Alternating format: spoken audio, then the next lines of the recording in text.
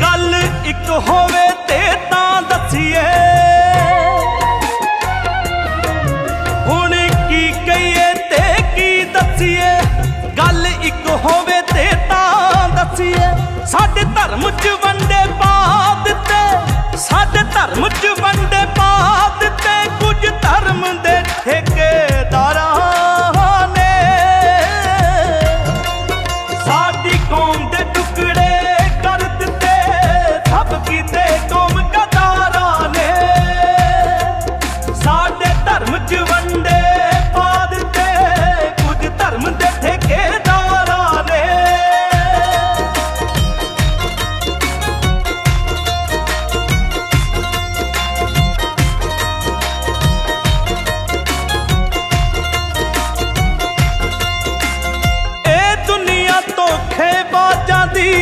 ਕਿਉਂ ਆਪਣਾ ਧਰਮ ਭੁਲਾਇਆ ਹੈ?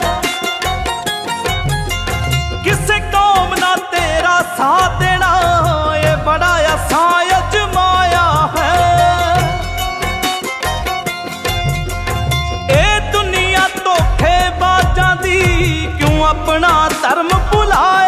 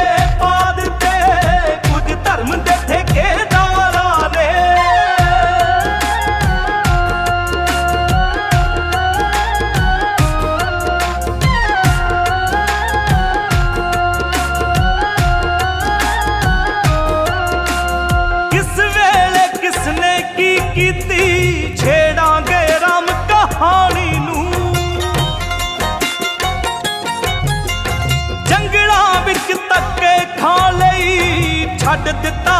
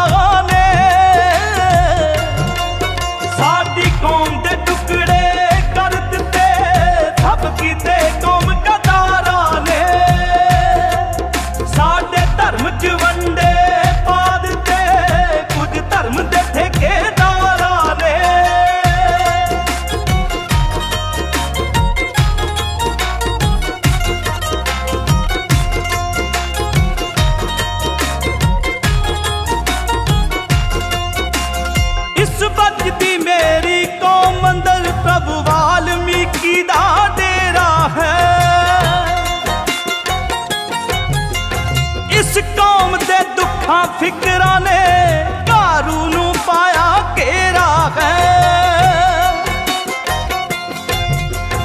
ਇਸ ਬਚਦੀ ਮੇਰੀ ਕੌਮ ਅੰਦਰ ਪ੍ਰਭੂ